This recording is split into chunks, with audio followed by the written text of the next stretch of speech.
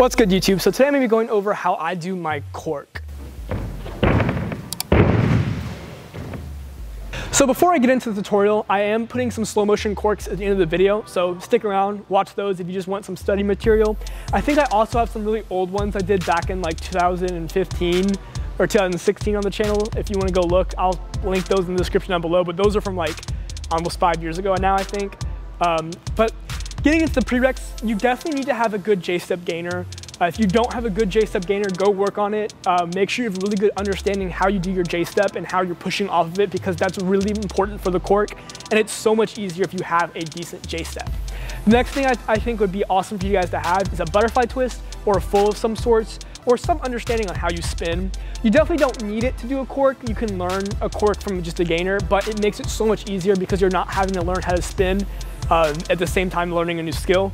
So I just really recommend being able to spin and having a good J-step gainer. Getting into the cork, what I'm really gonna focus on with you guys is the setup going into it, because the setup determines how the skill's gonna look. So if I'm doing my J-step and I'm going here, what really matters is you can walk into this all you want, but what matters is that pivot on the end. So if it's me right here, and if you notice, I don't really put any power in my J-step until the end, I'm literally here, and on that last jump, and by the way, I spin to the right, you wanna get that foot in front of you and push from your toes as hard as you can.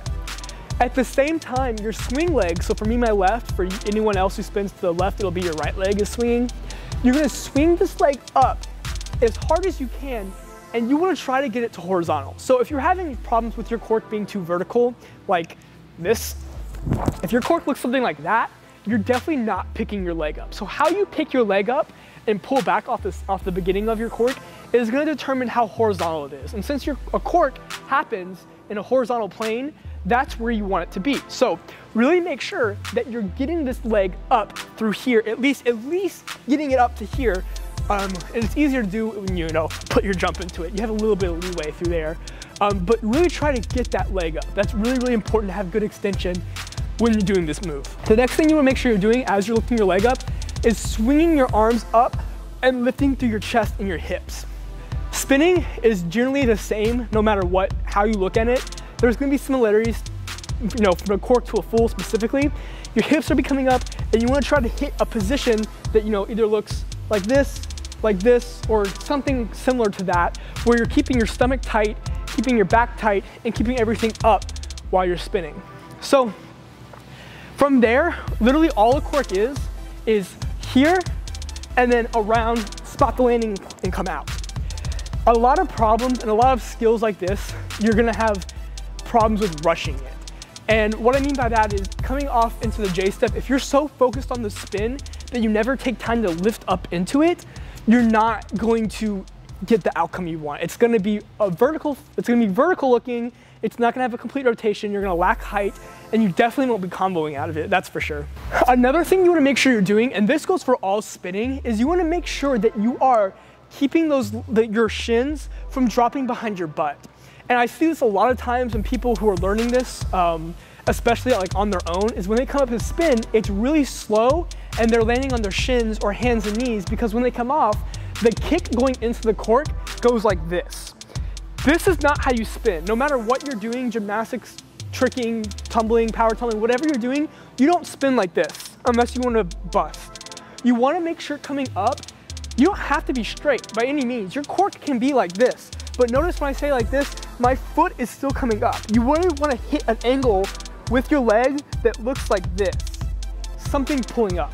And I'll put examples of those kind of corks um, in a second. You can kind of see what those look like bent. But that's really all there is to it. Um, a cork is really easy to do if you have a good understanding of a J-step.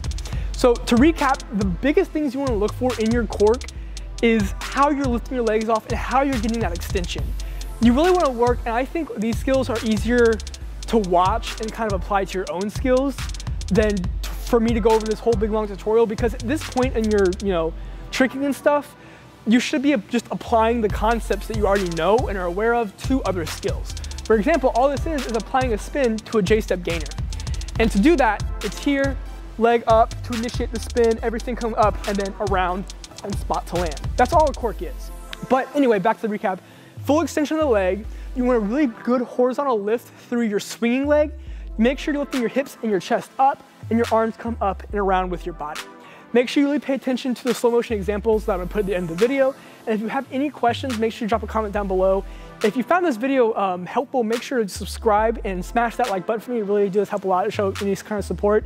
Uh, and if you have any suggestions for other skills you want me to cover, for sure, feel free to leave a comment down below. Anyway, guys, enjoy these slow motion corks. I will see you in the next video. Until then, I'm gonna get up out.